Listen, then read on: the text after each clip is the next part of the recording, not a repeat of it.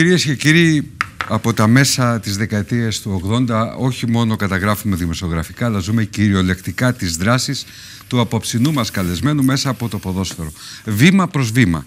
Από το Ασίμι τις υποδομές και την ιστορική άνοδο του Εργοτέλη στην πρώτη εθνική, τη διαρκή στήριξη στον Όφη και τη στενή σχέση του με τον Ευγένιο Γκέραρτ, μέχρι τις απανοτές θητείες του στην Ένωση Ποδοσφαιρικών Σωματείων Ηρακλείου με πέντε εκλογικές επιτυχίες και 17 συνεχόμενα χρόνια στην Προεδρία. Μια περίοδος γεμάτης συγκινήσεις, μεγάλες διοργανώσεις, σπουδαία αναπτυξιακά events, αγώνες πρώτης γραμμής για τα δίκαια συμφέροντα των σωματείων του Ηρακλείου και πρωτοβουλίες παρεμβάσεις στην κεντρική σκηνή του ποδοσφαίρου κόντρα στις ζημιογόνες και αρρωστημένες καταστάσεις που το χαρακτηρίζουν. Φαίνεται ότι ο καθρέπτης λειτουργήσε εξαιρετικά και δραστικά για τον Νίκο Τζόρζογλου και μέσα από το ποδόσφαιρο ένιωσε την ανάγκη της πολιτικής δράσης. Τα τελευταία χρόνια άλλωστε καταγράφηκε ως ο κύριος πόλος αντιπολίτευσης στα κακό κείμενα του ελληνικού ποδοσφαίρου με ανακοινώσεις, ομιλίες και επιστολές από την ΕΠΟ έως τη FIFA και το Υφυπουργείο Αθλητισμού. Κύριε Τζόζογλου, σας καλωσορίζομαι στην εκπομπή πρώτη φορά ε, με την ιδιότητα του υποψηφίου βουλευτή Ρακλειού της Νέας Δημοκρατίας. Καλησπέρα κύριε Μαγαζάκη, καλησπέρα στους τηλεθεατάς. Έχετε κάνει μια πάρα πολύ πλούσια προεκλογική έτσι, περιοδία, μια μεγάλη κινητικότητα, σας ε, παρακολουθούμε. Μέσα σε λίγες μέρες βέβαια, σε 20 μέρες. Ε, λιγότερο. Και λιγότερο. Ε, βλέπω ότι τέτοιο τρέξιμο δεν το έχετε κάνει σε άλλους χώρους. Όχι, είναι η πρώτη φορά πραγματικά στη ζωή μου που σε τόσο λίγο χρονικό διάστημα έχω κάνει τόσα πολλά χιλιόμετρα. Και σε αυτό το συνδυασμό ποδόσφαιρο και πολιτική που είναι αυτό το μείγμα απόψε στην εκπομπή ε, τι σας αφήνει έτσι σαν ε, διαφορετικό από την πολυετή ενασχόλησή σας με το ποδόσφαιρο; Ε, εάν με έλεγε κανείς πριν ένα χρόνο ότι θα ήμουν σήμερα σε μια πολιτική κατεξοχήν ε, εκπομπή ή ότι θα ήμουν υποψήφιος ε, με κάποιο κόμμα θα έβαζα στοίχημα οτιδήποτε έχω ε, ότι δεν υπάρχει τέτοια περίπτωση. Ε, όμως ε, σήμερα πράγματι έχω την τιμή, την τεράστια τιμή να είμαι στο ψηφοδέλτιο, να είμαι ένας ε, από τους 11 άξιους υποψηφίους της Νέας Δημοκρατίας ε, και νιώθω όμορφα, νιώθω υπερήφανα και θέλω να ευχαριστήσω γι' αυτό τον πρόεδρο του κόμματος και αυριανό πρωθυπουργό, τον Κυριάκο Μητσοτάκη και βέβαια το Γενικό Γραμματεία του κόμματος, τον Λευτέρη τον Αυγενάκη, που με προσκάλεσαν και με τίμησαν με αυτή την πρόσκληση ούτως ώστε να πλαισιώσω αυτό το ψηφοδέλτιο. Δηλαδή η, η υποψηφιότητά σας προέκυψε από πρόσκληση της Νέας Δημοκρατίας του κ. Αυγενάκη; Ε, σε πρώτη φάση από τον κ. Αυγενάκη, από την ΟΔΕ ε, και μετά από τον ε, αρχηγό του κόμματος της παράταξης, τον Κυριάκο το Μητσοτάκη που ενώ στην αρχή ήμουν κάπως αρνητικός ε, τελικά πίστηκα ότι σε αυτή την πατρίδα, σε αυτή τη χώρα ο κάθε πολίτης ο οποίος ε, μπορεί να προσφέρει στον τομέα του ε, έχει χρέος απέναντι στον τόπο του να το κάνει. Ε, αυτό έκανα κι εγώ και εκτίθεμαι με μια υποψηφιότητα ούτως ώστε ζητώντας τον ψήφο την ψήφο, την ψήφο του Ηρακλειώτη πολίτη να διεκδικήσω μια θέση στο Κοινοβούλιο, ούτως ώστε από μια θέση ευθύνης πλέον να μπορώ ε, να δώσω τη γνώση και την εμπειρία μου στο τομέα τουλάχιστον που εγώ γνωρίζω. Είπαμε ότι και είναι γνωστό ότι το ποδόσφαιρο είναι ένας καθρέπτης της κοινωνίας και απηχεί την πολιτική κατάσταση συχνά. Είναι ένα ζήτημα έτσι επιστημονικής διερεύνησης. Ε, βλέπετε ότι μέσα από τη δράση την οποία έχετε την πολυετή και την πολύ πλούσια ε, προσπάθησα και τις έβαλα ας πούμε σε 85 λέξεις όλη αυτή τη δράση σας ε, ότι έχετε τα εφόδια να υπηρετήσετε την πολιτική σκηνή του τόπου. Ε, στο χώρο τουλάχιστον που εγώ δραστηριοποιούμε τα τελευταία 30 χρόνια ξεκινώντας μάλλον και πιο παλιά σαν ε, αθλητής, σαν ε, ποδοσφαιριστής εραστέχνης αλλά και 30 χρόνια που υπηρετώ τον εραστεχνικό αλλά και κάποια χρόνια σαν ιδιοκτήτης του εργοτέλη τον επαγγελματικό ποδόσφαιρο ε, σίγουρα έχω κάποιες εμπειρίες, έχω κάποια γνώση. Ε, νομίζω ότι γνωρίζω τα προβλήματα τα οποία υπάρχουν σήμερα στον αθλητισμό, όχι μόνο στο ποδόσφαιρο, γνωρίζω τα προβλήματα που υπάρχουν στο επαγγελματικό ποδόσφαιρο, στο αεραστεχνικό ποδόσφαιρο, στον αεραστεχνικό αθλητισμό γενικότερα και πιστεύω ότι μπορώ αυτή την εμπειρία να το προσφέρω και νομίζω ότι μπορούμε να βρούμε και τις λύσεις στα προβλήματα αυτά ε, να έχουμε ένα καλύτερο, ένα καλύτερο αθλητισμό. Μήπως εσείς ο ίδιος δώσετε την ενέργεια να πολιτευτείτε μετά από μία τριετία περίπου που ουσιαστικά ήσασταν ο πόλος αντιπολίτευσης όλων αυτών των περίεργων γεγονότων που συνέβαιναν στον επαγγελματικό αθλητισμό, ιδιαίτερα στο ποδόσφαιρο και την εγκατάλειψη του εραστεχνικού. Δηλαδή, είδαμε πολλές επιστολές σας, πολλές παρεμβάσεις προς τη FIFA στο Υπουργείο Αθλητισμού. Ε, για να είμαι ειλικρινής και για να λέμε τα πράγματα όπως πρέπει να τα λέμε, κύριε Μαλτεζάκη, ε, θα ήταν άδικο να πούμε ότι ο ελληνικός αθλητισμός ε, κατέπεσε το ελληνικό ποδόσφαιρο τα τέσσερα τελευταία χρόνια. Ε, θεωρώ ότι η ευθύνη σε αυτό το πράγμα, το πολύ άσχημο πράγμα που υπάρχει στον ελληνικό αθλητισμό, που υπάρχει στο ελληνικό ποδόσφαιρο, στο ελληνικό μπάσκετ, δεν είναι ένα αποτέλεσμα των τεσσάρων τελευταίων χρόνων. Είναι ένα αποτέλεσμα δεκαετιών. Πιστεύω ότι ευθύνη και λάθη έχουν κάνει όλες οι κυβερνήσεις. Ε, βέβαια τα τελευταία τέσσερα χρόνια έχει παραγίνει το κακό. Έχουν γίνει ναι, ε, πράγματα. Επιτρέψτε μου να σας πω ότι τα τελευταία τέσσερα χρόνια περιμέναμε να γίνει μια εξυγίαση στο επαγγελματικό ποδόσφαιρο. Ε, δεν νομίζω. Βλέπετε, έχεις καμιά εξυγίαση. Δεν νομίζω ότι υπάρχει εξυγίαση. Όταν σήμερα το ελληνικό ποδόσφαιρο εποπτεύεται από ξένους. Υπάρχουν τρει-τέσσερι ξένοι οι οποίοι μας εποπτεύουν. Οι διαιτητές, οι υπεύθυνοι διαιτησίας στην Ελλάδα είναι ξένοι. Είναι Πορτογάλος, Γερμανός, Σουηδός. Ε, οι περισσότεροι προπονητές είναι ξένοι. Οι περισσότεροι ποδοσφαιριστές είναι ξένοι. Ε, οι μόνοι που δεν είναι ξένοι τελικά είναι οι φύλαθλοι, οι οποίοι δεν υπάρχουν κιόλας φύλαθλοι. Οι κερκίδες, τα γήπεδα είναι άδειες. Ε, Μεγάλες διοργανώσεις όπως είναι ο τελικός κυπέλου Ελλάδος, που έγινε πρόσφατα το Μάιο, δυστυχώς για, για τη χώρα μας, ένας τελικός σε ένα γήπεδο 70.000 θέσεων μεταξύ ΠΑΟΚ ΑΕΚ σε ένα στάδιο 70.000 θέσεων και είχαμε χίλιους φιλάθλους και 3.000 αστυνομικούς. Παρότι όμως είχαμε χίλιους φιλάθλους και 3.000 αστυνομικούς, ε, ακόμα και σε αυτό το ελάχιστο ε, κόσμο είχαμε επεισόδια. Αυτό είναι ένα άσχημο δείγμα. Αυτό δεν συμβαίνει όμως μόνο στο ποδόσφαιρο. Το ίδιο συμβαίνει στο μπάσκετ. Ε, το ίδιο συμβαίνει ακόμα και στο πόλο.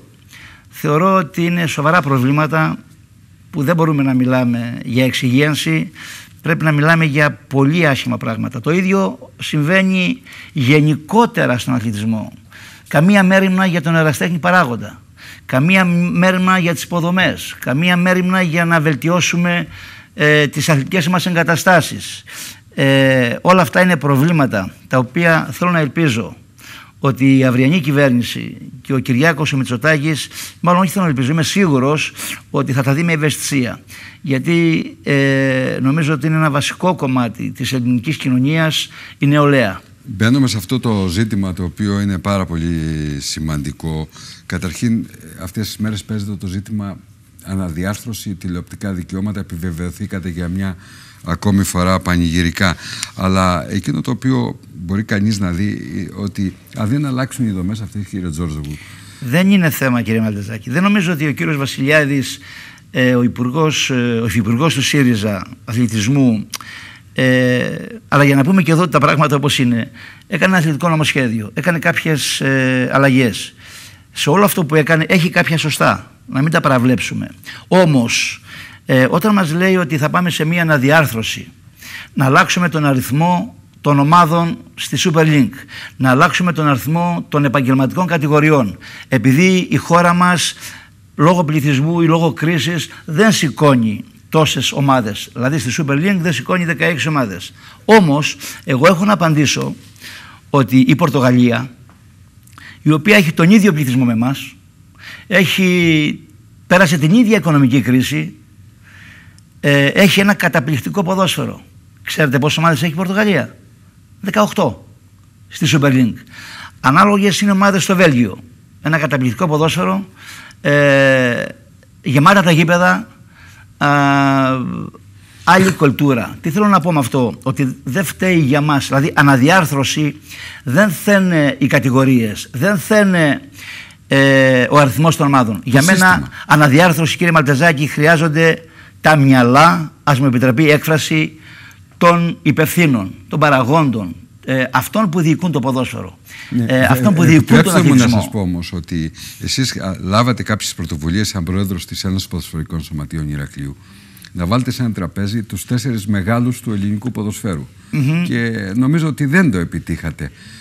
Δεν το πέτυχα γιατί προφανώς κάποιοι από τους μεγάλους ε, δεν το θέλανε. Εγώ ανεξάρτητα από το αποτέλεσμα της Κυριακής, ανεξάρτητα αν εκλεγώ ή δεν εκλεγώ ε, βουλευτής, ε, αυτή την προσπάθεια θα τη συνεχίσω.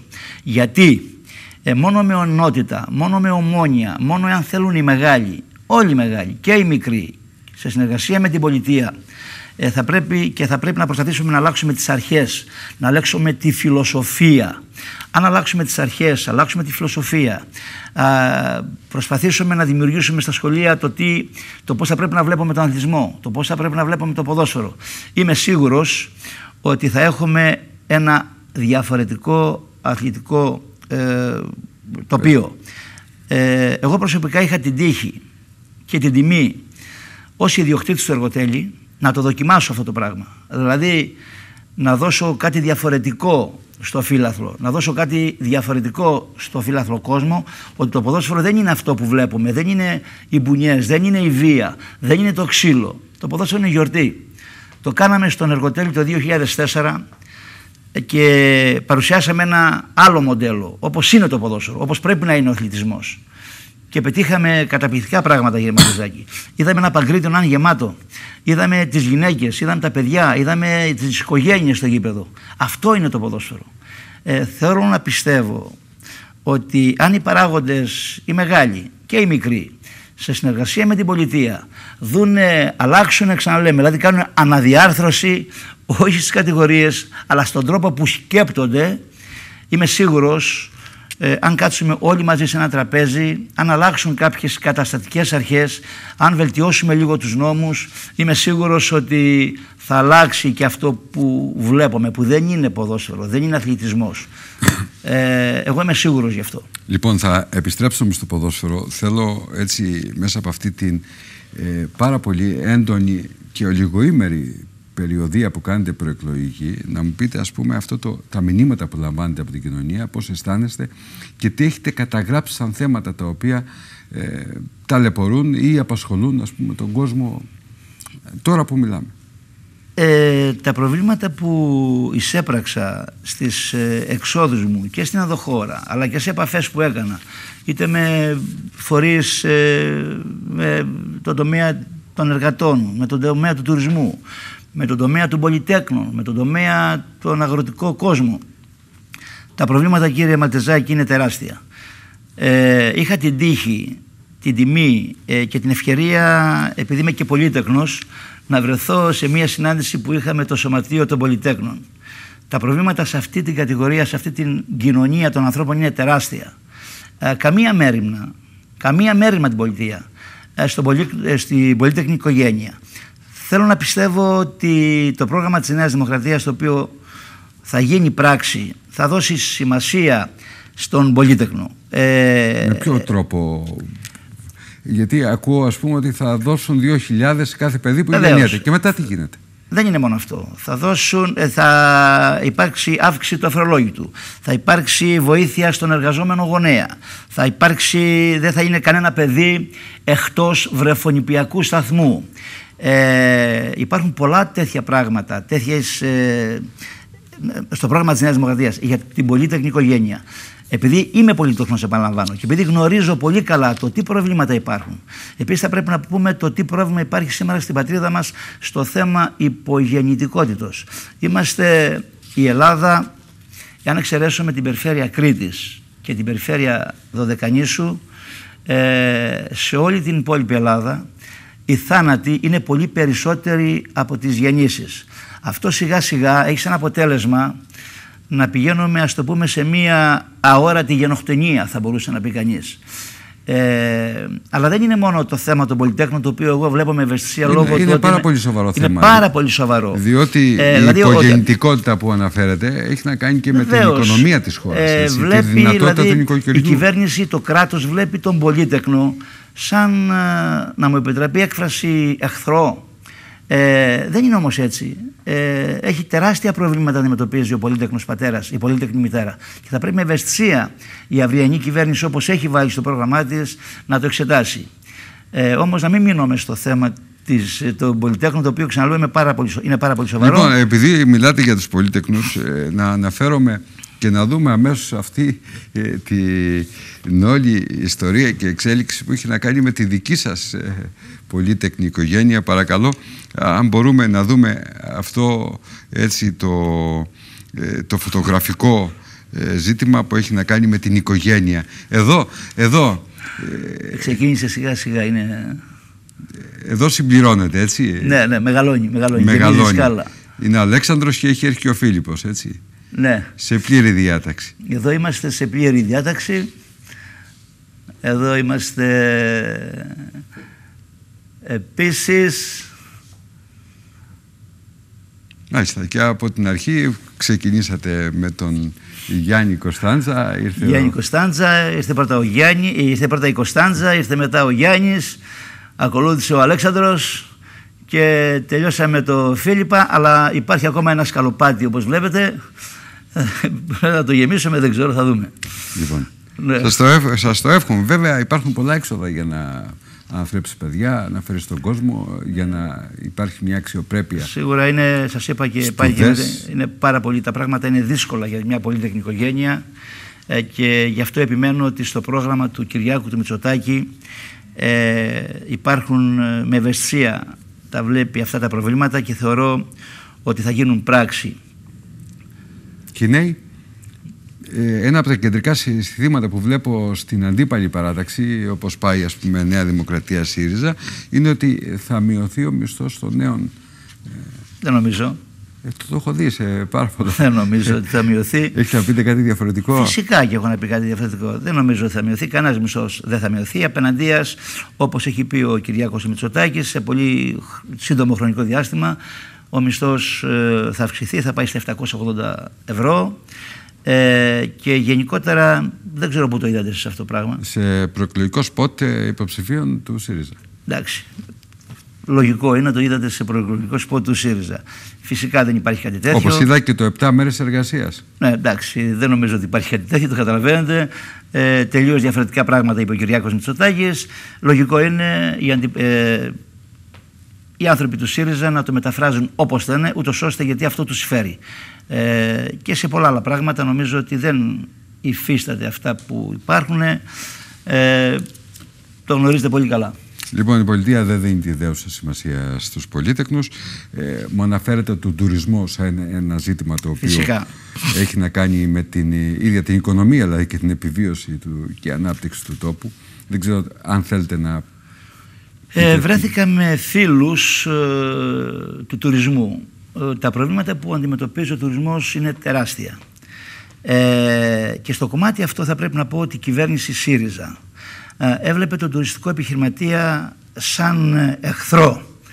Ε, από το θέμα της υπερφορολόγησης, από τον τρόπο που τους ελέγχους ε, νομίζω ότι άλλωστε στο πρόγραμμα της Νέας Δημοκρατίας είναι γνωστό ε, η φορολογία από το 28% πολύ σύντομα θα πάει στο 20%. Καλά, μην ξεχνάμε κύριε Τζόρτζογλου πώς προέκυψαν όλα αυτά από μια κρίση, από μνημόνια Βεβαίως, ναι. και από μια καταστροφή οικονομική ναι, της χώρας. αλλά δεν μπορείς έτσι. με την υπερφορολόγηση, υπερφορολόγηση να είσαι ανάπτυξη ρε Μαλτεζάκη.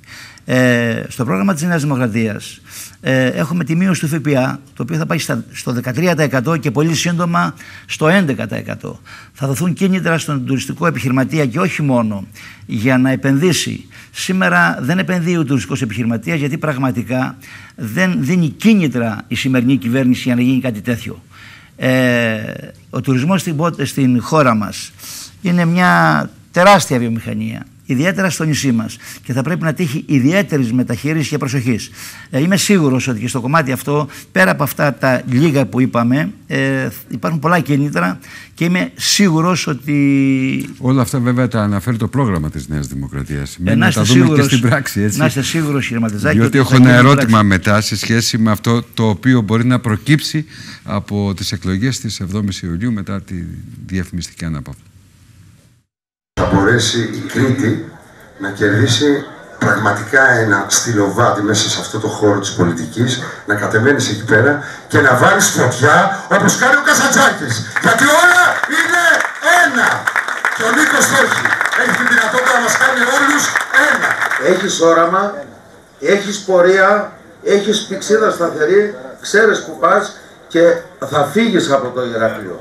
Πρέπει να πας αυτό το φως που έχεις βγάλει να το δώσεις πανελλοδικά. Πάντα ψηλά, πάντα, πάντα να σκοράρεις με επιτυχία και από εκεί στους στόχους.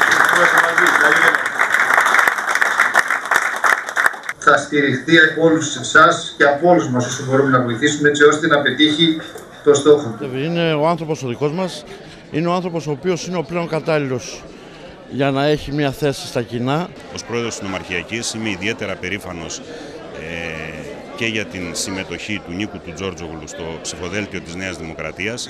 Είναι ένας άνθρωπος ο οποίος μπορεί να βοηθήσει, αγαπάει το Ηράκλειο και όχι μόνο για το χώρο του αθλητισμού. Θα είναι και ο Όφη και όλα τα σωματεία του Ηρακλείου και ακόμα και της Κρήτης πολύ τυχερά αν ο άνθρωπος αυτός εκλεγεί εκεί. Γιατί δεν πάβει να είναι ένας σοβαρός αθλητικός παράγοντας της Κρήτης για να μην σου πω και από τους λίγους της Ελλάδος. Τέτοιους πολιτικούς θέλουμε. Θέλουμε ανθρώπους οι οποίοι να προχωρήσουν τα πράγματα μπροστά. Έχει ανθρώπους με άξιες, με όραμα, με ηθική, με πιστεύω. Εσύ όλα αυτά που ακούτε όμως είναι θετικά. Σας ευχαριστώ πολύ. Ευχαριστώ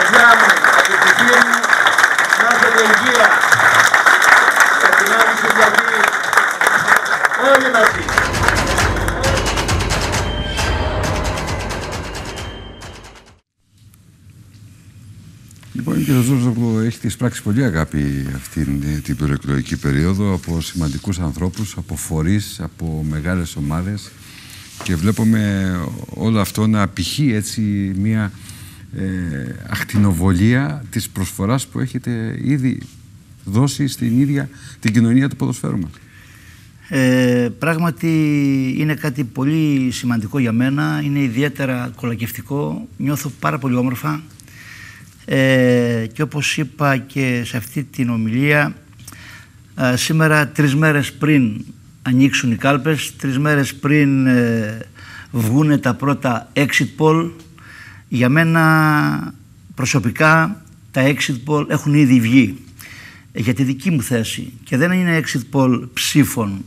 Ε, είναι το τελευταίο ειλικρινά που με ενδιαφέρει και βέβαια με ενδιαφέρει. Δεν το λέτε αυτό τώρα. Είναι, το και, βέβαια με ενδιαφέρει. Ε, και βέβαια με ενδιαφέρει. Όμως το exit poll αυτό, το οποίο όλες αυτές τις 18 μέρες που τρέχω στα χωριά, τρέχω στα σπίτια των ανθρώπων, τρέχω στην επιχείρηση, τρέχω στο αμπέλι, στον αγρότη, στον πολίτεκνο και εισπράττω αυτή την αγάπη, αυτή την αποδοχή, για μένα αυτό είναι το πλέον σημαντικό.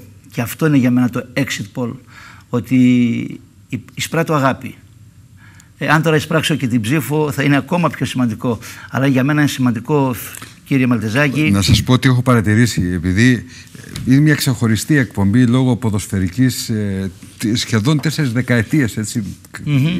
Ζούμε τον Νίκο Τζόρζογλου στο, στο ποδόσφαιρο και καταγράφουμε. Ε, είναι ότι σας πλαισιώνουν άνθρωποι οι οποίοι και στηρίζουν την υποψηφιότητά σας από το χώρο του ποδοσφαίρου που δεν ανήκουν στη Νέα Δημοκρατία. Και το βλέπω, εγώ το βλέπω στις φωτογραφίες έτσι, και στα βίντεο. Ε, αυτό είναι το πιο σπουδαίο. Για μένα το πιο σημαντικό. Ε, και έτσι θα πρέπει να το δούμε νομίζω. είναι πολύ σπουδαίο για μένα, πολύ σημαντικό, ο, πολύ κολακευτικό το γεγονός ότι αυτοί οι άνθρωποι οι οποίοι με στηρίζουν που έρχονται και δημόσια αλλά λένε ότι Νίκο προχώρα, είμαστε μαζί σου. Αυτοί που μου χτυπάνε την πλάτη και μου λένε ναι Νίκο και μου, με γεμίζουν με συγκίνηση. Είναι άνθρωποι επιτοπλίστων που είναι σε άλλους χώρους. Είτε του Πασόκ, είτε του ΣΥΡΙΖΑ, είτε από του άλλες... Κομμουνιστικού κόμματος. Ε, του Κομμουνιστικού Κόμματος. Και αυτό εμένα μου δημιουργεί τεράστια χαρά και ταυτόχρονα τεράστια ευθύνη απέναντι σε αυτούς τους ανθρώπους ε, και κυρίως μου δίνουν δύναμη να προχωρήσω σε αυτό το πρωτόγνωρο για μένα το δύσκολο, το δύσβατο δρόμο της πολιτικής. Γιατί, όπως είπα και στην αρχή, δεν φανταζόμουν ποτέ και δεν περίμενα ότι, ας το πούμε στα γεράματα, εγώ θα ασχοληθώ με την πολιτική. Όμως, ειλικρινά, μου δίνουν, όλοι αυτοί οι άνθρωποι μου δίνουν τεράστια δύναμη. Εντός εισαγωγικών το βάζετε Τέλος αυτό, πάντων, έτσι, τα ναι. γεράματα. Λοιπόν, ε, όλος ο, όλοι και προηγουμένως και η ΚΕΔ ε, της ΕΨΗ εξέδωσε μια ανακοίνωση. Ε, Να τα πούμε, από το ποδόσφαιρο προέρχονται αυτά, γι' αυτό δεν είναι το ποδόσφαιρο πολιτική με την υποψηφιότητά σας. Θέλουμε έτσι να δούμε μεγάλη φορή του Ηρακλείου και πρόσωπα σημαντικά των μεγάλων μας ομάδων από τον Όφη, ας πούμε, ξεκινώντας. Στεφανουδάκης και η σημαία του Εραστέχνη, ο Παναγιώτης Σπυριδάκης. Είναι τιμή μεγάλη για μας τους φίλους του υποψήφιου να εκπροσωπεί σε αυτό που αγαπάμε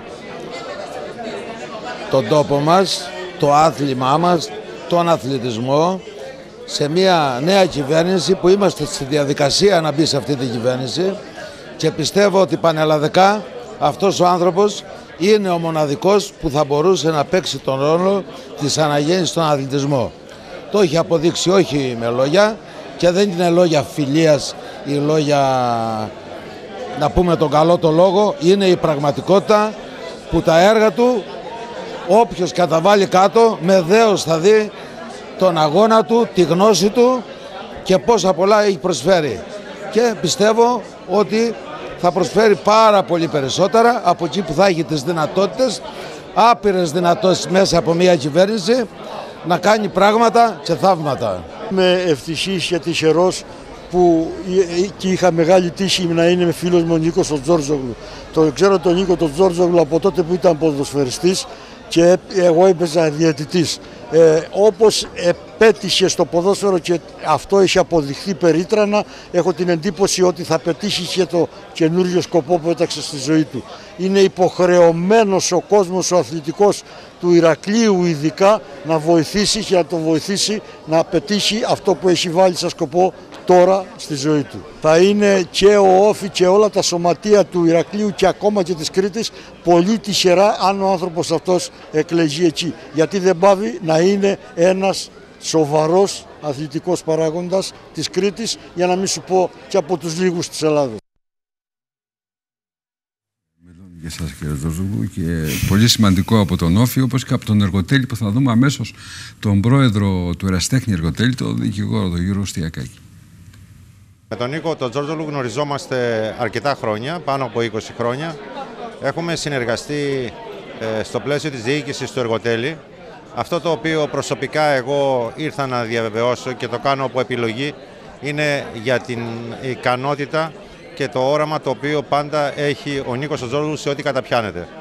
Αυτό είναι ένα χαρακτηριστικό το οποίο θα πρέπει οπωσδήποτε να έχουν οι άνθρωποι οι οποίοι ασχολούνται με την πολιτική να έχουν αποδείξει με το έργο τους ότι είναι σε θέση να μπορούν και να σχεδιάζουν και να υλοποιούν πράγματα στη ζωή τους. Αυτό το έχει καταφέρει ο Τζότζορου με ό,τι έχει καταπιαστεί. Επομένως τον θεωρώ έναν άνθρωπο ο οποίος μπορεί να βοηθήσει τον τόπο του και αγαπάει τον τόπο του.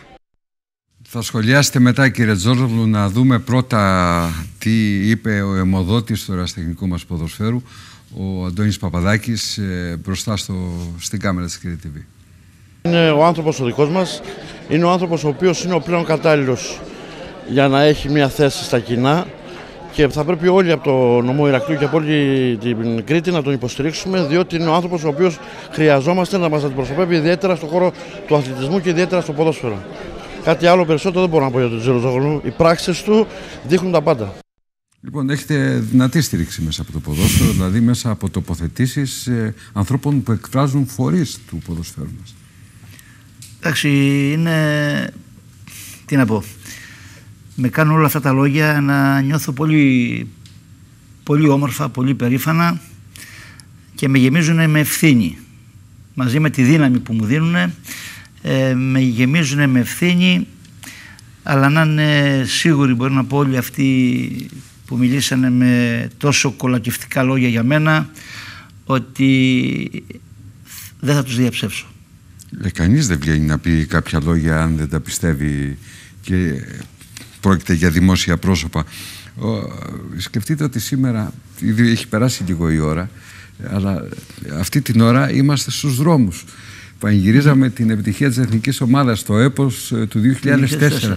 Σαν χθες, σαν τώρα. Ε, Θοδωρής Ζαγοράκης, ε. Ο φίλος μας ο Θοδωρής Ζαγοράκης, ο αρχηγός της εθνικής μας ομάδος. Σήκωνε το τρόπεο. Κρίμα όμως ε, κύριε Μαλτεζάκη που αυτή την τεράστια επιτυχία της εθνικής μας ομάδας το 2004 ε, δεν την εκμεταλλευτήκαμε εμείς οι παράγοντες, δεν την εκμεταλλεύτηκε η πολιτεία. Οι ε, μεγαλοπαράγοντες νομίζω ότι... Οι, κυρίως οι μεγαλοπαράγοντες, ε, η Ομοσπονδία, η πολιτεία, όλοι ε, ήταν μια χρυσή ευκαιρία την οποία δυστυχώς την αφήσαμε και πέρασε ανεκμετάλλευτη. Τι είναι αυτό που κάνει το Θοδωρή Ζαγοράκη; Εντάξει, ευρωβουλευτής της Νέας Δημοκρατίας είναι. Αλλά και πριν ήταν ευρωβουλευτής της Νέας Δημοκρατίας, έχει μια τρομερή εκτίμηση στο πρόσωπο σου. Ε, ο Θοδωρής Ζαγοράκης, αυτό που τον εντυπωσίαζε πάντα ήταν ότι δηλαδή, η σχέση μας δημιουργήθηκε και έγινε πολύ στενή ε, από τα παιχνίδια που η εθνική ομάδα της Ελλάδος έπαιξε στο Παγκρίτιο, στα οποία είχα εγώ την ευθύνη της διοργάνωσης και τα οποία παιχνίδια της εθνικής ομάδος ε, η εθνική ομάδα και ο Θόδωρος Ζαγοράκης, ο αρχηγός, είδαν πάντα ένα παγκρίτιο στάδιο γεμάτο, κατάμεστο, είδαν παλμό, είδαν αγάπη, είδαν το φύλαθρο κόσμο του Ηρακλείου και γενικότερα της Κρήτης να τους αγκαλιάζει. Ε, πίστευαν ότι σε όλο αυτό το, την επιτυχία εγώ είχα την ευθύνη αλλά δεν ήμουνα μόνο εγώ οι συνεργάτες μου, ο κόσμος, ο φίλαθλος κόσμος του Ερακλείου και αυτό μας έκανε να, να έρθουμε πιο κοντά με το Θόδωρα. Ε, παραμένουμε φίλοι, ε, ο Θόδωρας είναι μια μεγάλη προσωπικότητα ε, και τον ευχαριστώ για αυτή την αγάπη που μου δίνει, αυτή τη συμπάθεια και για τα όμορφα λόγια που συνέχεια δεν σταματάει να λέει για το πρόσωπό μου. Όπως και τώρα θα την ακούσουμε. Για τον Νίκο δεν έχω να πω πάρα πολλά, δεν θα είμαι και αντικειμενικός εξάλλου ότι έχω να πω για τον κύριο Τζόρτζογλου. Ε, χρειαζόμαστε ανθρώπους σαν τον Νίκο στο Εθνικό Κοινοβούλιο γιατί γνωρίζει πάρα πολλά και για τον αθλητισμό και όχι μόνο και νομίζω ότι ε, θα στηριχθεί από όλους εσάς και από όλους μας όσο μπορούμε να βοηθήσουμε έτσι ώστε να πετύχει το στόχο του. Λοιπόν, υπάρχει αυτή η στραθιά ανθρώπων, οι φίλοι. Έχετε πολύ, πολύ καλούς φίλους, αλλά έχετε και πολύ δυνατούς αντιπάλους. Και εμπροκειμένου στην προεκλογική σας εκστρατεία με αυτό το ψηφοδέλτιο της Νέας Δημοκρατίας, ε, νομίζω ότι έχετε να κάνετε με ένα πολύ ανταγωνιστικό ψηφοδέλτιο, δηλαδή με πρόσωπα τα οποία ε, έχουν μια δυναμική μες στην κοινωνία. Ε, πράγματι έτσι είναι. Θεωρώ ότι το ψηφοδέλτιο αυτό έχει αυτή η ενδεκάδα να χρησιμοποιήσουμε και ένα ποδοσφαιρικό όρο. Είναι μια καταπληκτική ενδεκάδα. θα μπορούσαμε να την ονομάσουμε ποδοσφαιρικά μια Μπαρτσελώνα πολιτική. Ε, και οι 11 είναι αξιόλογοι άνθρωποι, αξιόλογα άτομα, ε, άνθρωποι με χρόνια εμπειρία, με αγάπη και πιστεύω ότι εμένα προσωπικά μου αρέσει αυτό που είμαι σε ένα τέτοιο ψηφοδέλτιο που όπως λένε οι περισσότεροι ίσως είναι το πιο δυνατό ψηφοδέλτιο των τελευταίων δεκαετιών που η Νέα Δημοκρατία έχει κατεβάσει στο Ηράκλειο. Αναφερθήκατε όμως στην Παρσελώνα και είναι το επιχείρημα της άλλης πλευράς. Ανατροπή πώς ε, η Παρσελώνα ετήθηκε από τη Λίβερπουλ. Ε, ε ναι, ε, θεωρώ ότι πράγματι, όχι, εγώ το πιστεύω αυτό, ότι πράγματι όλοι, μα όλοι όμως και οι 11 οι υπόλοιποι δέκα μάλλον να μην είναι πολύ αξιόλογοι. Είναι και εμένα προσωπικά μου αρέσει που είμαι σε ένα τέτοιο, μια, σε μια μεγάλη, σε μια βασική, σε μια καλή ενδεκάδα. Και ο Στράτος ο Τζόρζογλου από κοντά συνέχεια, ο ξαδερφός, τι σχέση έχετε με το Στράτο; Ο, ο Στράτος ο Τζόρζογλου είναι ένας ε, συγγενής, ένας καλός φίλος. Είμαστε δεύτερα εξαδέλφια και δεν σταμάτησε ποτέ να με στηρίζει ακούγοντας δε ότι θα είμαι υποψήφιος ε, και μπαίνω για πρώτη φορά στη ζωή μου σε αυτό το δρόμο, σε αυτό το μονοπάτι το δύσκολο. Είναι μαζί μου, είναι στην Κρήτη, είναι στο Ηράκλειο και με στηρίζει όλες αυτές τις μέρες ε, και θα πρέπει να πω ότι τον ευχαριστώ πάρα πάρα πολύ. Είναι ένας καταπληκτικός άνθρωπος και ένας και πολύ καλός ηθοποιός. Καλλιτέχνης, ναι. Καλλιτέχνης. Ο Στράτος ο Τζόρζογλου. Και η Ειρήνη Τζόρζογλου. Η Ειρήνη, Τζορ- η Ειρήνη Τζόρζογλου, η Master Chef της Μεγάλης Βρετανίας, είναι πρώτη μου εξαδέλφη. Ο πατέρας της Ειρήνης και ο δικός μου πατέρας, οι οποίοι και οι δύο ε, έχουν φύγει από αυτόν τον κόσμο, ήταν αδέλφια. Η Ειρήνη είναι ένα καταπληκτικό παιδί, μια καταπληκτική κοπέλα, η οποία έφυγε πολύ νέα από την Κρήτη, ζει 40 χρόνια περίπου στο Λονδίνο, στην Αγγλία και κατάφερε με αυτό που πέτυχε στην Αγγλία να κάνει το όνομά μας, βασικά να κάνει την Κρήτη ε, παγκόσμια γνωστή στην κυριολεξία με αυ- και να φέρει την κριτική κουζίνα ε, ένα ακόμα σκαλοπάτι πιο ψηλά στην παγκόσμια κουζίνα με αυτό που πέτυχε ε, να κατακτήσει το Master Chef στη Μεγάλη Βρετανία. Σας αγαπάει πολύ όμως. Σας αγαπάει ιδιαίτερα. Αμέσως λοιπόν είπα γιατί όχι, στήριξε τον ξαδελφό σου. Να είσαι, όχι να στενοχωριέσαι, αλλά να ενθουσιαστείς μαζί του και να πεις καιρός είναι να δείξουμε και στους δικούς μας εδώ και στους έξω, στους Έλληνες και τους ξένους, ότι όπως η ελληνική κουζίνα και η ελληνική πολιτική έχει αξία, έχει ανθρώπους με άξιες, με όραμα, με ηθική, με πιστεύω. Είναι βέβαιο μεγάλο καμάρι, μεγάλη περηφάνεια, πολλές ευχές. Θα τα καταφέρεις. Και στις δύσκολες ώρες θα θυμάσαι την υπόσχεση που έδωσες πρώτα σε σένα, αυτή τη φορά που δέχτηκες την πρόσκληση και όλη την αγάπη και όλες τις ελπίδες που εναποθετούμε εμείς πάνω σου και θα παίρνεις δύναμη.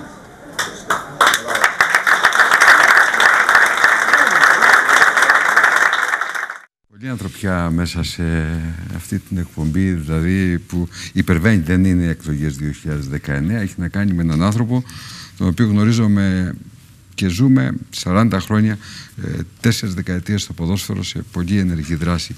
Λοιπόν, κύριος Ζόρζογλου, υποδοχή από όλες τις περιοχές της Κρήτης, δηλαδή έχουμε δει μια καταγραφή ας πούμε στη Μεσαρά, στο Μαλεβίζι, ε, στο Μονοφάτσι, ε, παντού. Ε, τι είναι αυτό που σας κάνει να είστε αγαπητός και να έχετε και τους αντιπάλους με την έννοια του εχθρού εντός εισαγωγικών; Ναι, σίγουρα δεν είναι αντίπαλοι, ξαναλέμε. Δεν μιλάμε φορά για είναι. τους υποψηφίους σας.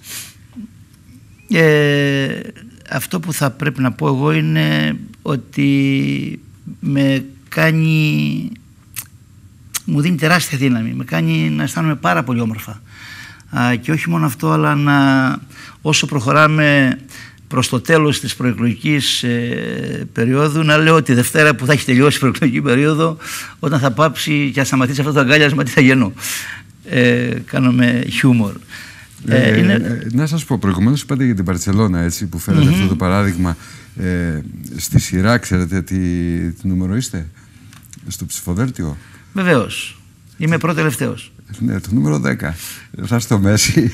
Ε, ε, μου, το Λόγω είπε, και ιδιότητας. μου το είπε κι άλλος αυτό. Δεν θα είμαι ο Μέση. Θα είμαι ένας από τους 11 ε, ο πιο νέος στην πολιτική, ο φρέσκος στην πολιτική ε, και θα προσπαθήσω με τον αγώνα μου και πριν αλλά και μετά όπως είπα ανεξάρτητα από το αποτέλεσμα να είμαι κοντά ε, στον τόπο μου να βοηθήσω αυτό που και όλα αυτά που είπα να τα κάνω πράξη. Λοιπόν, ε, εκλέγεστε.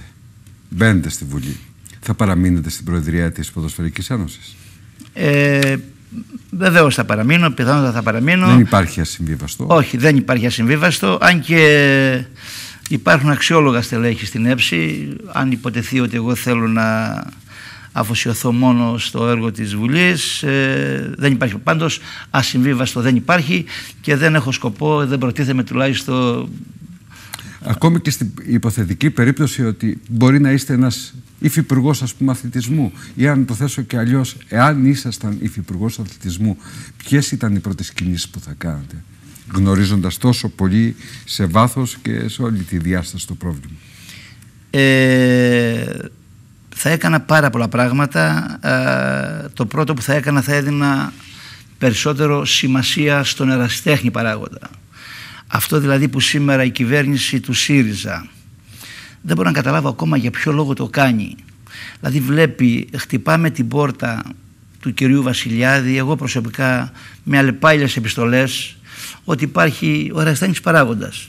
Υπάρχουν 5.000 εραστενικά σωματεία στο ποδόσφαιρο. Υπάρχουν πολλά εραστενικά σωματεία στο μπάσκετ, στο βόλεϊ, στο πόλο. Ε, όταν πας να ζητήσεις επιχορήγηση για το ντιμπάκι, για την επισκοπή, για τη Χερσόνησο, σου λέει δεν έχουμε χρήματα. Ε, όταν θες να βελτιώσεις και να δημιουργήσεις νέες γηπαιδικές εγκαταστάσεις, σου λέει δεν έχουμε χρήματα. Και την ίδια στιγμή κύριε Μαλτεζάκη, η κυβέρνηση ΣΥΡΙΖΑ μοίρασε 52 εκατομμύρια ευρώ σε 7 ποδοσφαιρικές ανώνυμες εταιρείες. Αυτό είναι που με πειράζει εμένα. Εγώ δεν λέω να μην δώσουμε σημασία στο επαγγελματικό ποδόσφαιρο. Και βέβαια να δώσουμε σημασία. Δεν μπορείς όμως να δίνεις 52 εκατομμύρια ευρώ σε 7 ανώνυμες ποδοσφαιρικές εταιρείες και στο φουκαρά τον παράγοντα ε, που είναι στη Γαρύπα, που είναι στην Άικα Τσαμπά, που είναι στην Πυριώτισσα, που είναι στις Μύρες να του λες δεν σου δίνω ούτε ένα ευρώ. Αυτό είναι που εμένα με πονάει. Δεν μπορείς ας πούμε να... Εμείς κάνουμε ένα παιδικό πρωτάθλημα στο οποίο συμμετέχουν 3.500 παιδιά από 5 έως 15 ετών.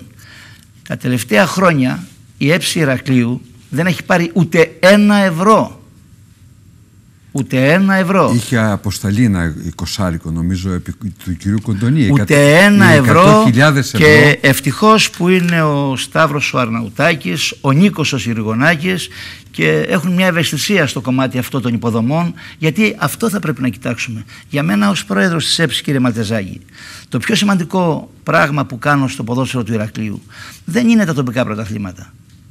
Είναι το γεγονός ότι σήμερα το Ηρακλειώτικο ποδόσφαιρο, οι ακαδημίες σε όλο το Ηράκλειο είναι σε πολύ υψηλό επίπεδο. Το Ηράκλειο τα τρία τελευταία χρόνια φτάνει στους τελικούς του Πανελλήνιου Πρωταθλήματος. Και όμως σε, αυτό, σε αυτή την κοινωνία, σε αυτά τα παιδιά, σε αυτές τις ακαδημίες, σε αυτούς τους παράγοντες που διοικούν αυτές τις ακαδημίες δεν υπάρχει καμία μέρημνα. Ένα λοιπόν από τα πράγματα που θα πρέπει να κοιτάξει η αυριανή κυβέρνηση και ο αυριανός υφυπουργός αθλητισμού θα πρέπει να είναι ο ερασιτεχνικός αθλητισμός, οι υποδομές, ε, η ασφάλεια στα γήπεδα, ε, το πώς θα δώσουμε στο φύλαθλο να καταλάβει το τι είναι το ποδόσφαιρο, ε, να βάλουμε την αθλητική παιδεία, το fair play μέσα στα σχολεία. Αυτά νομίζω είναι τα πρώτα που θα πρέπει να κάνει ο αυριανός υφυπουργός αθλητισμού. Αυτά ε, για το ποδόσφαιρο ε, προηγουμένως γιατί δεν ολοκληρώσαμε μια ερώτηση που έχει να κάνει με τον πρωτογενή τομέα mm-hmm. που είπατε για τους αγρότες. Θα επιστρέψουν πάλι στο ποδόσφαιρο. Ήθελα να πείτε μερικά πράγματα διότι με τις επιδοτήσεις δεν νομίζω ότι μπορεί να βγει κάτι δεν υπάρχει και μέλλον. Όχι ε, ε... γιατί δεν μπορεί να στηθεί έτσι μια δομή, παραγωγική δομή στην αγροτική οικονομία; Γιατί τον Έλληνα αγρότη η κυβέρνηση, η σημερινή κυβέρνηση τον βλέπει και αυτό σαν εχθρό. Ε, είχα την τύχη Είναι να βρεθώ... θέμα κυβέρνησης Ευρωπαϊκής Ένωσης τελικά; Μα ποιο Ευρωπαϊκής Κυβέρνησης. Δηλαδή το να φορολογούμε τον αγρότη λες και είναι δεν ξέρω εγώ ποιος. Ένας άνθρωπος ο οποίος, ε, αν πάτε στην Ήπεθρο και δείτε το πώς ε, το πώς ζει ένας αγρότης, ε, ειλικρινά θα πείτε ε, η κατάσταση είναι τραγική. Ε, σίγουρα θα πρέπει να γίνουν τομές. Σίγουρα θα πρέπει και ο Κυριάκος Μετσουδάκη στο πρόγραμμά του ε, έχει τέτοιες τομές. Έχει τέτοιες ε, μείωση φορολογίας, η οποία θα πρέπει να πάει στο 10%. Ε, θα πρέπει να σταματήσουν οι παράνομες ελληνοποιήσεις ε, των προϊόντων. Ε, θα πρέπει να δοθούν κίνητρα ε, για, να, ε, για τη σύσταση κάποιων συνεργατικών σχημάτων. θα πρέπει να το λίπασμα, να έχουμε κάποιες μειώσεις ε, και γενικότερα θα πρέπει τον αγρότη και το χτινοτρόφο να το δούμε με διαφορετικό μάτι.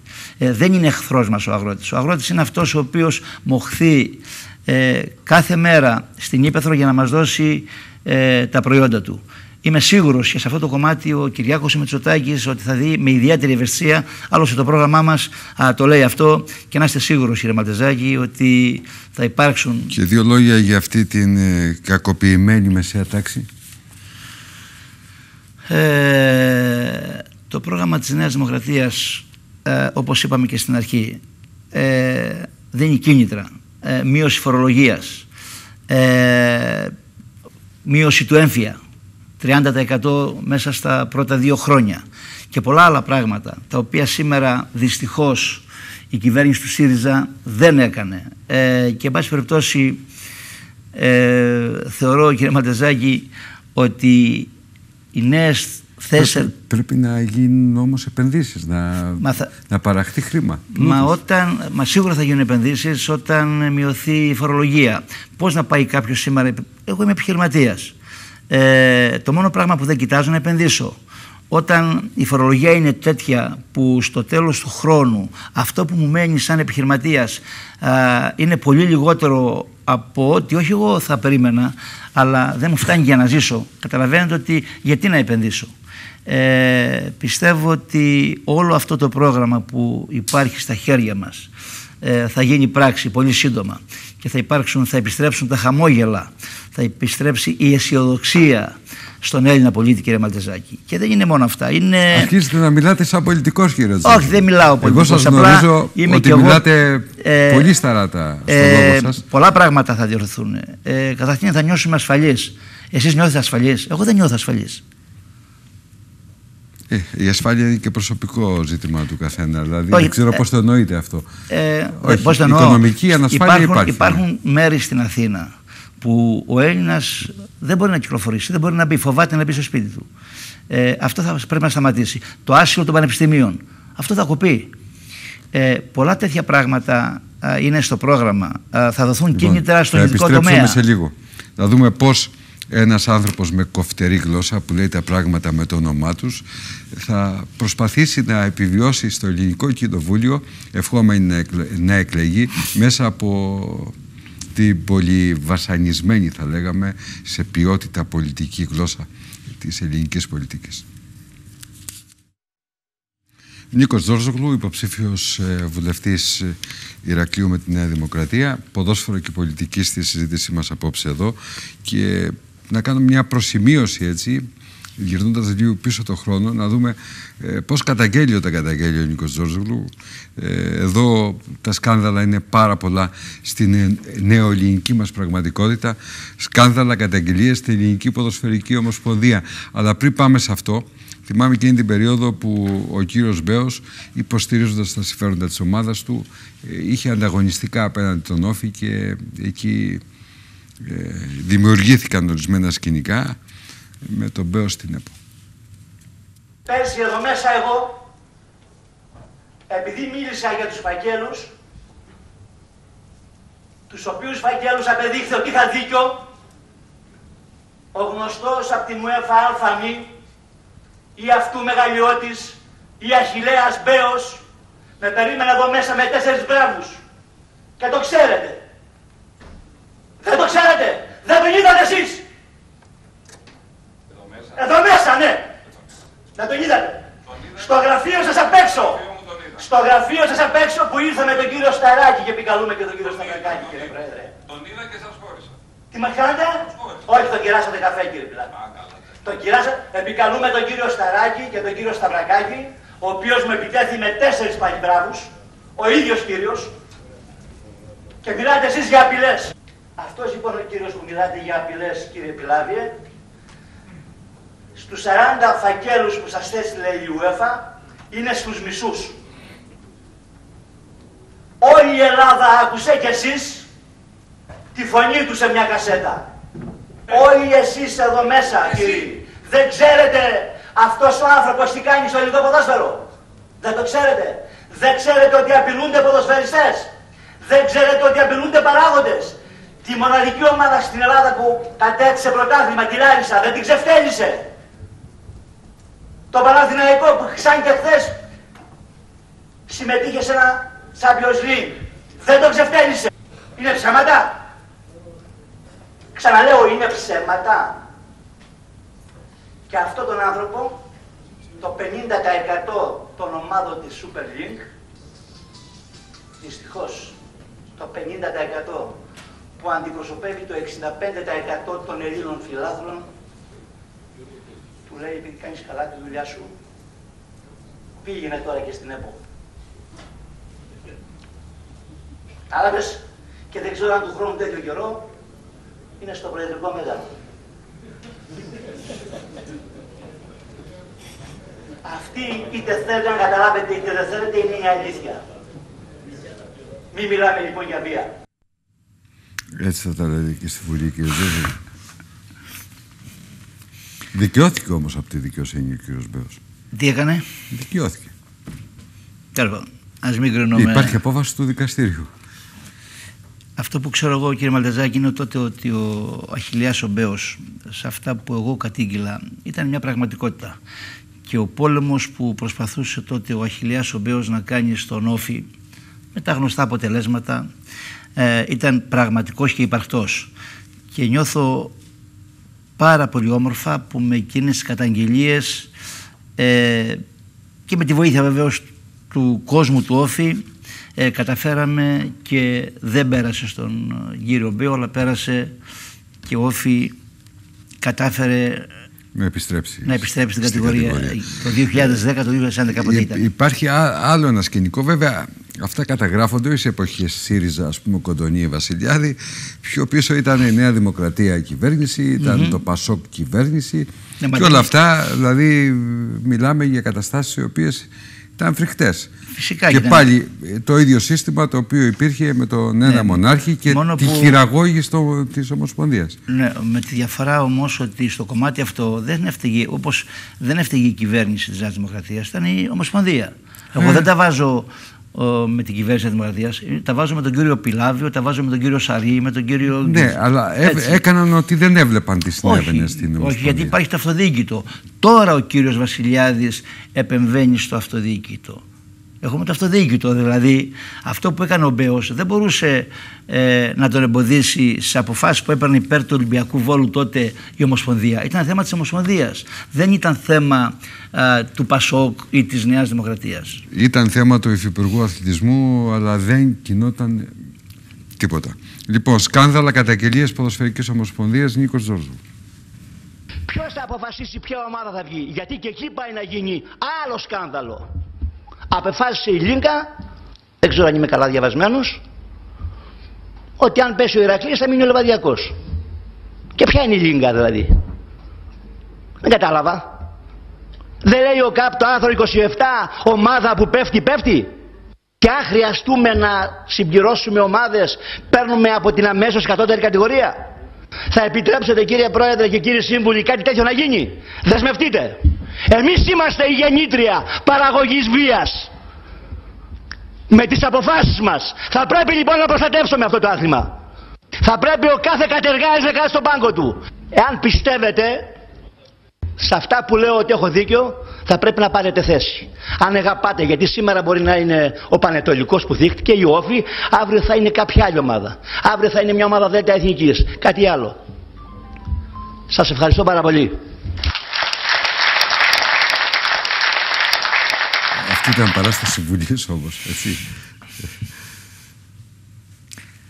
Ε, δυστυχώς το ποδόσφαιρο, όχι τα τέσσερα τελευταία χρόνια, τις τελευταίες δεκαετίες δεν είναι ποδόσφαιρο.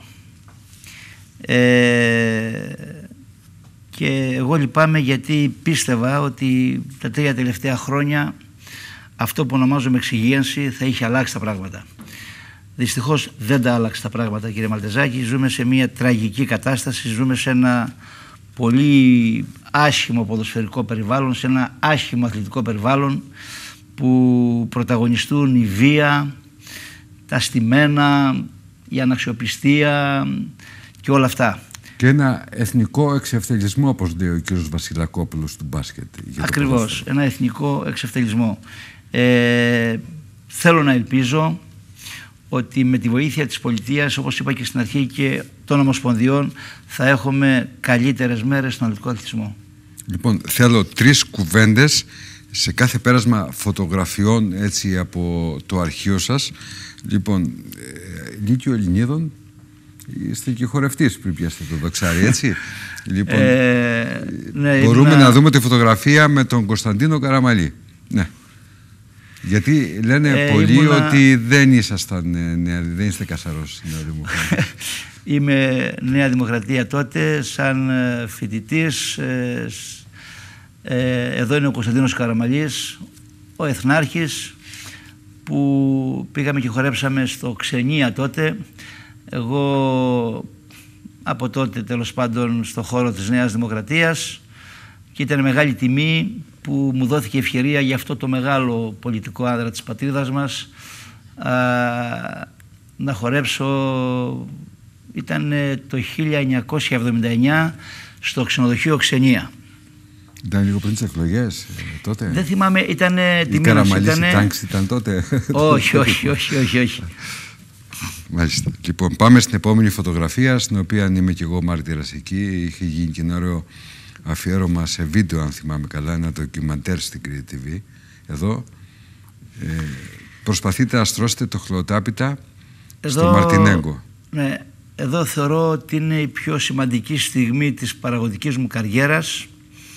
Ε, είναι γι' αυτό που εγώ νιώθω υπερήφανος επειδή πολλοί λένε ότι ο Τζόρζογλου με τους συνεργάτες του κατάφερε να ανεβάσει τον Αργοτέλη από τη Δέλτα Εθνική στη Super League ε, ότι αυτό θεωρούν σαν το πλέον σπουδαίο επίτευγμα, σπουδαίο κατόρθωμα ένας παράγοντας με μια ομάδα ανθρώπων να βγάλει τον Αργοτέλη από τη Δέλτα Εθνική στη Super League. Εγώ δεν θεωρώ ότι είναι αυτό, θεωρώ ότι είναι αυτό το πράγμα είναι τα πρώτα μέτρα α, χόρτου, πλαστικού χόρτου που στο μέχρι τότε γήπεδο το Μαρτινέγκο που ήταν με χώμα έγινε πλαστικό, φτιάξαμε το πρώτο αθλητικό κέντρο με τον Γιώργο το Σουλτάτο συνεργάτη, με τον Γιώργο το Στιακάκη, με τον Φιλιπάκη, με τον Βοζικάκη, με τον Ταμιολάκη, ε, με τον Ιάκωβο το Σύφρη, με τον Μανώλη το Σταυρακάκη και μια σειρά και με όλους αυτούς που βοήθησαν σε αυτή την προσπάθεια. Κάναμε ένα πρότυπο αθλητικό κέντρο, το οποίο εγώ αισθάνομαι πολύ όμορφα και όπως λέω, μου αρέσει να λέω συχνά, α, είναι η μεγαλύτερη χαρά που νιώθω όταν ε, κατεβαίνω πηγαίνοντας προς, τις, ε, προς τη Χανιόπορτα και περνάω έξω από το Μαρτινέγκο όταν βλέπω τα παιδάκια με την κίτρινη φανένα να ανηφορίζουν το Μαρτινέγκο, παιδιά 5, 6, 7, 8, 10 ετών ε, και σε αυτό το πρώτο αθλητικό κέντρο σήμερα αθλούνται 800 παιδιά είτε στο μπάσκετ είτε στο ποδόσφαιρο. Αυτό είναι για μένα ό,τι καλύτερο έχω προσφέρει ε, στην, σαν παράγοντας ε, γιατί σκεφτείτε ότι από αυτό το γήπεδο, από αυτό το πρώτο αθλητικό κέντρο του Εργοτέλη έχουν φύγει 100 διεθνή είτε διεθνείς ποδοσφαιριστές είτε ποδοσφαιρίστριες.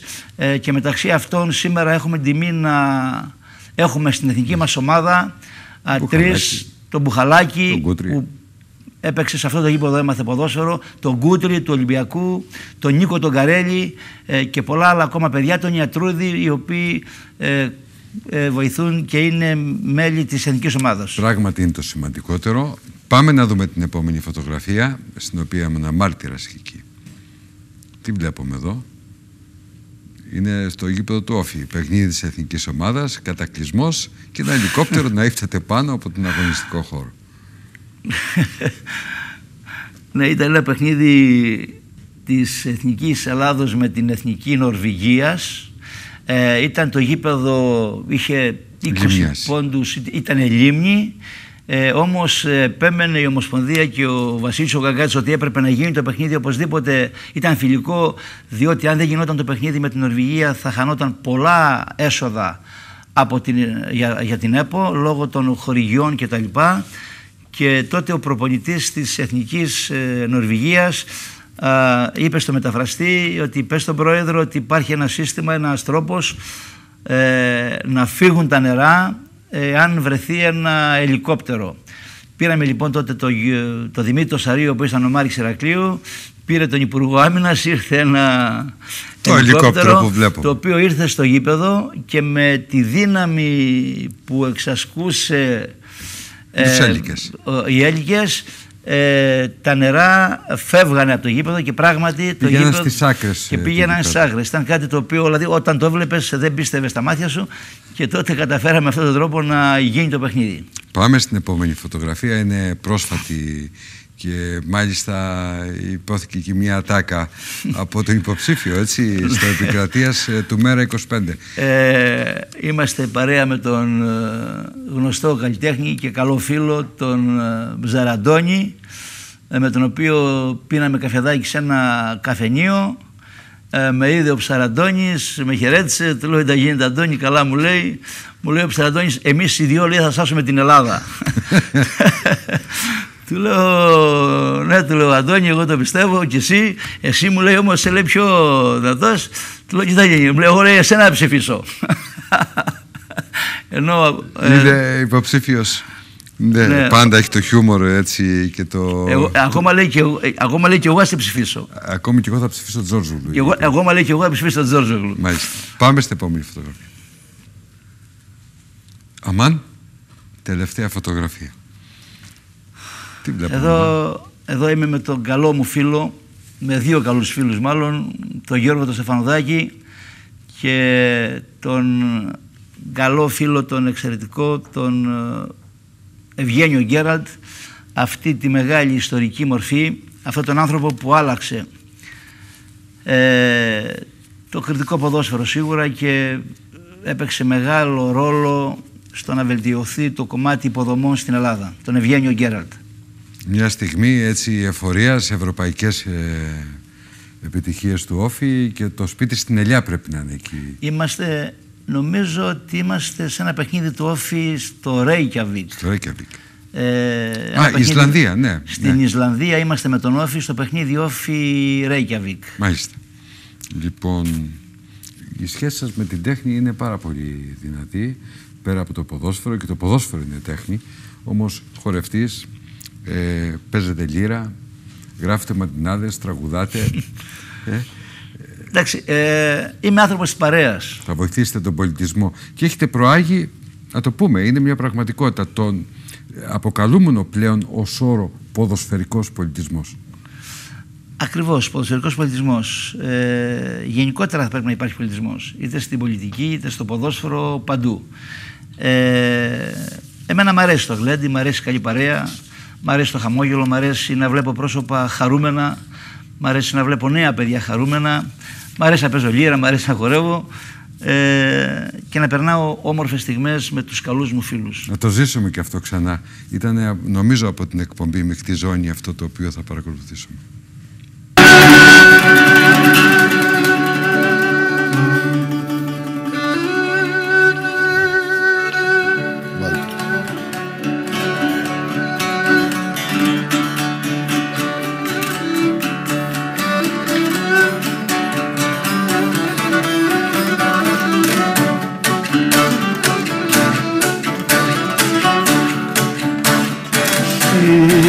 Μάθες Συ να μάθες πως αγάπουν Αγιές αμάν αμάν Συ με μάθες πως αγάπουν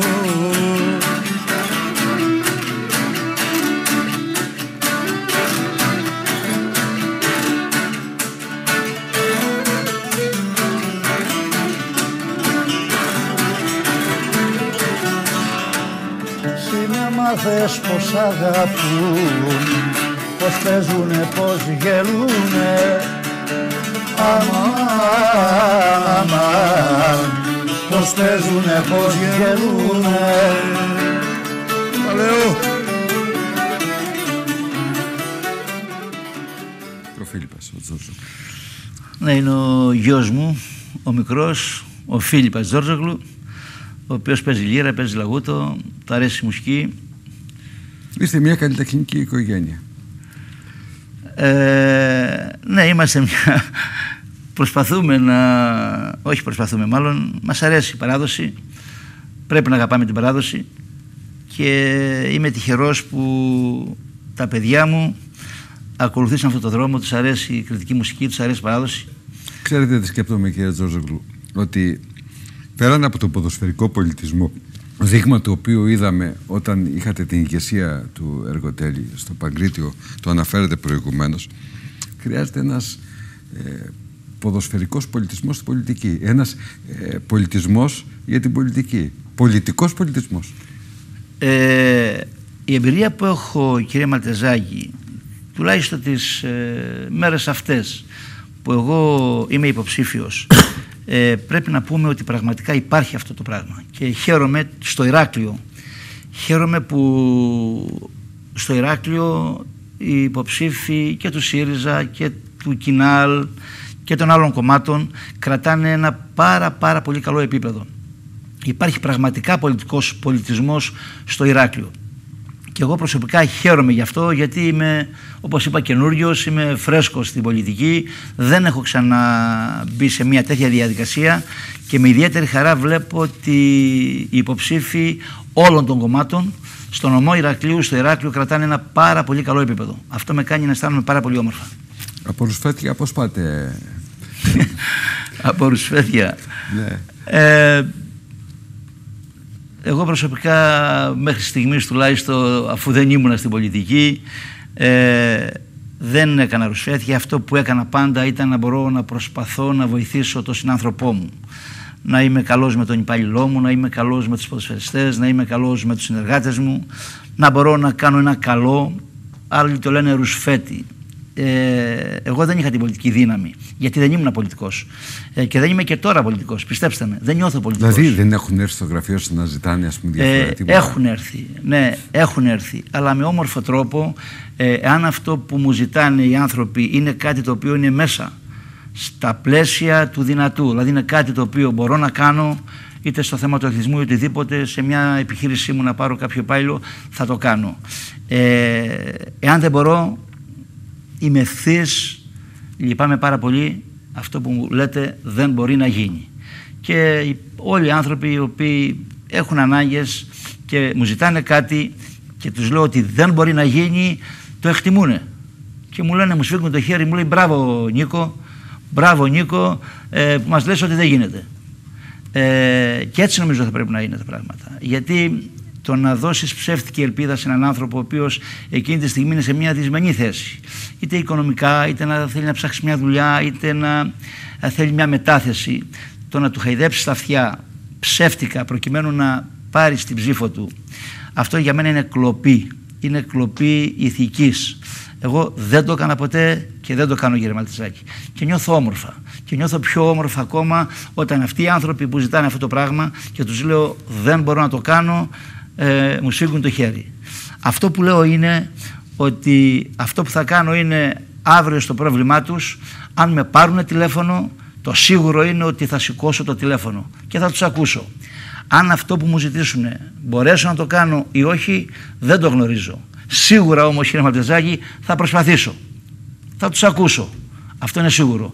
Και αν τη στιγμή που με παίρνουν τηλέφωνο, όπως τους λέω, μπορεί να μιλάω, μπορεί να τρώγω, μπορεί να κάνω μπάνιο, να είναι σίγουροι ότι όταν θα μπορέσω μετά από μισή ώρα θα επικοινωνήσω μαζί τους. Γιατί αυτό θα πρέπει να κάνει ο πολιτικός αν θέλει πραγματικά να κυκλοφοράει στο καφενείο, να κυκλοφοράει στο χωριό του, να πάει αύριο στον αγρότη, να τους φίξει το χέρι και να αισθάνεται. Εντάξει, τώρα κυκλοφορείτε με ένα μπλουζάκι με κάτι ωραία από καμισάκια τα οποία είναι τα χαρακτηριστικά σας αλλά αύριο που θα σας δω βλέπω με συνέχεια με κουστούμι δεν φοβάστε μήπως αλλάξετε όλη αυτή την νοοτροπία. Α, με βλέπετε με κουστούμι εμένα; Ναι. Μες στη Βουλή πώς νομίζετε ότι θα φοράτε ό,τι θέλετε; Εντάξει, δεν λέω ότι θα φοράω ό,τι θέλω. Θα πάτε; Δεν λέω ότι θα φοράω ό,τι θέλω, όμως ε, θα προσπαθήσω όσο μπορώ και πιστεύω ότι θα τα καταφέρω να παραμείνω ο Νίκος. Αγαπώ πολύ τον Νίκο. Ας με επιτραπεί και μου συγχωρεθεί η αλαζονία και ο εγωισμός, αλλά είμαι ο Νίκος και αυτό θέλω να παραμείνω γιατί αυτό το Νίκο θα ψηφίσει ο κόσμος αυτό το Νίκο σφίγγει το χέρι και μου δίνει αγάπη και σε καμία περίπτωση δεν θα πουλήσω οτιδήποτε να αγοράσω κάτι άλλο που δεν είναι Νίκος. Να είστε σίγουρος κύριε Μαλτζάκη γι' αυτό. Να είστε 100% σίγουρος γι' αυτό. Η Νέα Δημοκρατία θα πάρει την αυτοδυναμία.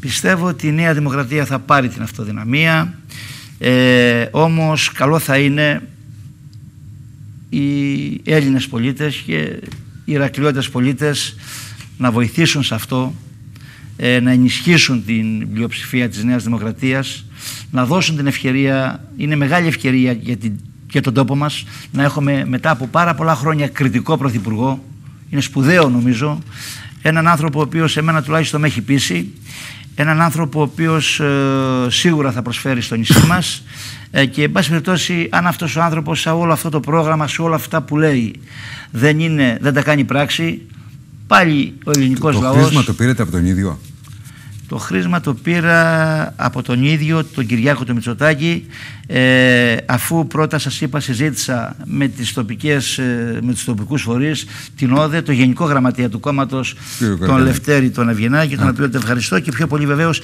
ευχαριστώ τον Κυριάκο του Μητσοτάκη για αυτή την τεράστια τιμή. Τι εντύπωση σας έκανε ο ε, Χωρίς καμία υπερβολή, κύριε Μητσοτάκη. Αυτός ο άνθρωπο. Ο Μαλτεζάκη.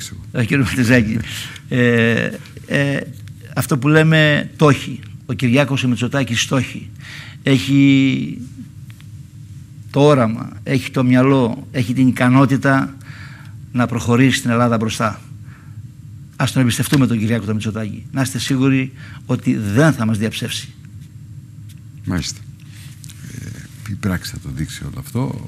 Ο Έλληνας πολίτης έχει περάσει πολύ δύσκολες περιόδους, δηλαδή και μέσα από τις πολιτικές που έχουν ασκηθεί με τα πολεμικά δεν ζει αυτό το οποίο αξίζει να ζει στην καθημερινότητά του. Ε, δεν ξέρω, Μαυρογιαλούρο έχετε δει την ταινία με τον ε, Λάμπρο Κωνσταντάρα; Όχι, την έχω ακούσει, δεν την έχω δει. Δείτε τη, διότι είναι πλάνα η πολιτική, έτσι πιστεύω εγώ.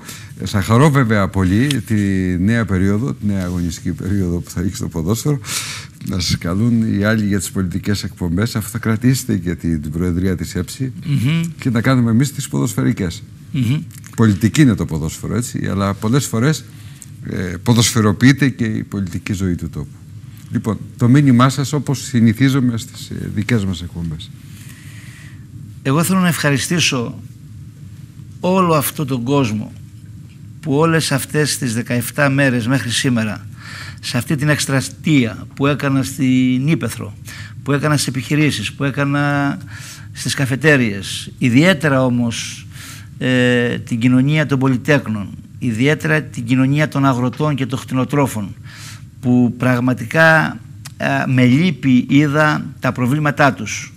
Ε, και να τους πω ότι με όλη τη δύναμη αυτή που μου δίνουν ε, να είναι σίγουροι ότι εάν ε, έχω την τύχη και την τιμή να είμαι μέλος της επόμενης Βουλής εγώ δεν θα τους διαψεύσω.